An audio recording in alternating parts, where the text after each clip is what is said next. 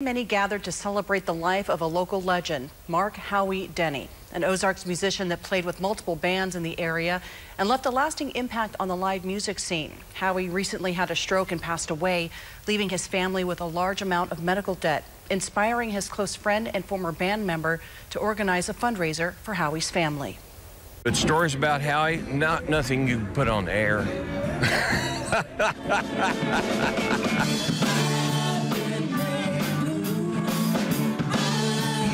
I just, I, I've never met a more genuine man in my life. You know, he didn't want a funeral, he didn't want any of that crap. He just wanted to, people to get together and have fun and play music.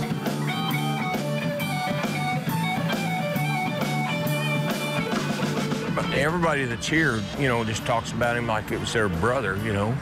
Uh, never met a guy who loved people so much and gave so much to them, you know. His music and his humor and his friendship and love touched all these people.